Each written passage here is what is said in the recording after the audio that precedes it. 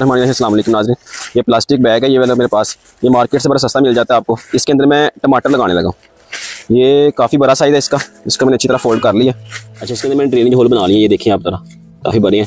अब जिस मिट्टी का मैं इस्तेमाल कर रहा हूँ, इसमें फिफ्टी परसेंट कम्पोस्ट है और फिफ्टी परसेंट आम मिट्टी है गार्डन सॉल है।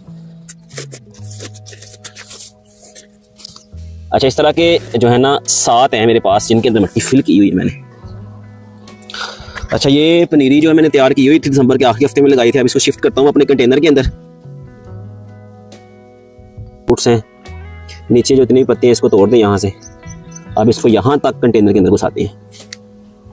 अच्छा इसको लगाने का बेहतरीन टाइम है, आप फरवरी में लगा दें इसको। जो पनीरी आपने तैयार की है, फरवरी में आप शिफ्ट कर दें अपने कंटेनर के अंदर। मार्च में भी लगा सकते हैं वैसे आप।